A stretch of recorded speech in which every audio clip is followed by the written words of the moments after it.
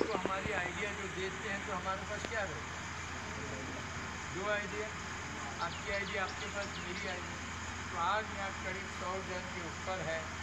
तो मैं ज़रूर ज़्यादा